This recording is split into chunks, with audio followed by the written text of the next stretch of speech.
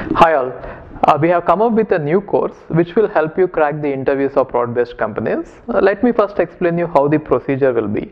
Now, if you wish to crack the interviews of any product-based companies, first they will give you a problem and you are supposed to come up with a solution. The solution in terms of the algorithm and the data structures, right? So once you propose the solution, you are supposed to analyze it let us say you have come up with two three solutions. You are supposed to analyze all the solutions possible given that you have you know uh, implemented it using many data structures and then you have to pick the best solution possible okay? In terms of space and time complexity. Once you are done with that the next phase will be implementation. So you have to take any programming language that you like and you have to implement it. Generally, uh, companies don't specifically ask for any particular programming language. You can go with uh, any language of your choice. So mainly this is what is going to happen in the interview procedure. So first thing is you are supposed to give algorithms uh, as a solution and once you give this algorithm you are supposed to implement it. So you have to learn one is programming and the other one is algorithms and the other one is data structures.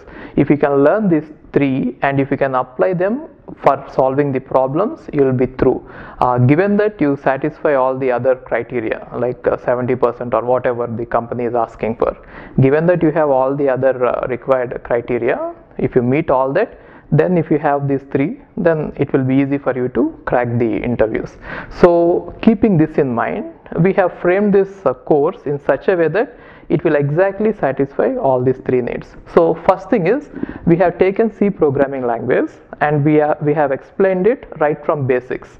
So we start with the introduction and then give you the flow control statements and then functions, arrays, pointers and then structures and unions. Now once you learn this, so C programming language, you will be able to implement any data structure and any algorithm and you will be able to solve any problem using it right? So that is why i have taken this small you know this basic uh, programming language. You must be knowing uh, c programming language isn't it? But still we revise it once again. Now the next thing is we start with data structures. And again in data structures also we start from basics and introduce first the basic data structures required. So the basic data structures are stacks queues linked lists trees hashing heaps and graphs. So while explaining all this we start from the basics and we tell you how to implement it and second thing is we also give you some uh, standard examples which will be given in most of the textbooks. So after doing this you will be able to learn the basics of this. And after the basics are done we will go with the advanced data structures. Now in the advanced data structures we are going to cover binomial heap fibonacci heaps skip list red black trees tries ternary search trees segment trees splay trees interval trees binary index trees b trees and b plus trees while explaining these concepts again we start with the basics and we explain you the data structure along with that we'll give you some uh, standard examples right and after this is done so after the data structures are done, we go with the algorithms. Now in algorithms also we start from the basics and we tell you how to analyze the space and time complexity of algorithm and then we explain you various paradigms which are available. So we explain you sorting and searching techniques, divide and conquer, greedy, backtracking, dynamic and complexity classes. While explaining these techniques, we take some standard examples and we give you, uh, you know, while explaining them. Okay. Now, after finishing all these three, one is programming, data structures and algorithms, given any problem, you will be able to solve it using all these concepts, right? Now what we do is, finally, we take the real world problems which will be uh, useful in the product development phase in any company. And these problems are also most frequently asked problems in uh, many interviews.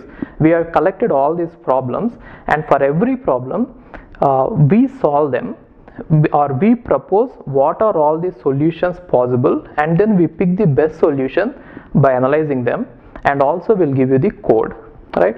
Now exactly what are the problems we have solved under each category is so these are all the categories of the problems that we have solved. Now if you want to see what are all the problems we have solved exactly you can uh, uh, find the list in our website.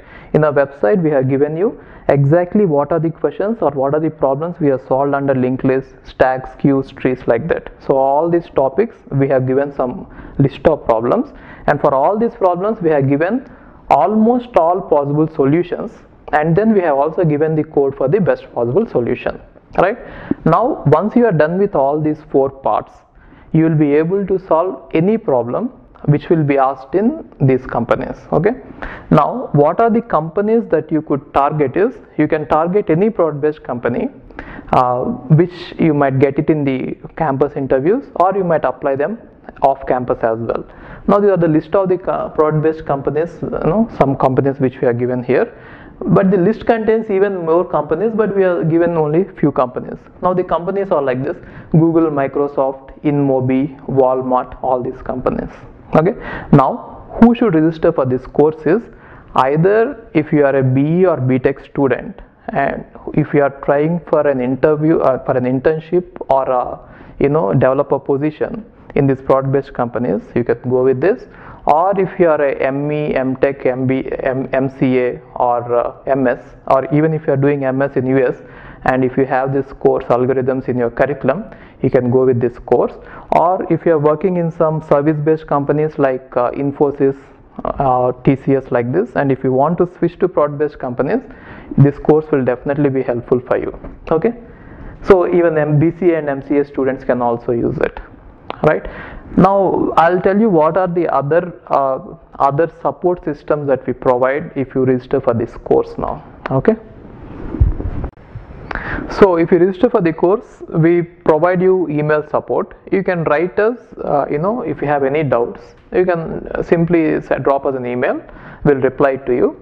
And we also have a discussion forum where we are going to post every question. And for every question you can have a discussion there along with the code. Or if you have any new questions you too can post a question and we can have the discussions over there. For example if you have recently you know gone through an interview and if you want to post some of the questions there yes you can do that. And next thing is for every program uh, for every problem that we solve uh, you know for the best possible solution we even give you a working code in C language so these are all the uh, you know you can expect all this support from our side. Now if you want to register for the course you can contact us uh, any at an, any of these three places. You can drop us an email and our email address is interviewprep.ravindrababu at gmail.com you can simply drop us an email and we'll revert back to you. Or you can visit our website for all the course details about registration procedure syllabus everything. You can find it in in, in our website www.ravindrababuravula.com slash interview prep. Or you can also call us at our toll free number 1800 274 4514 okay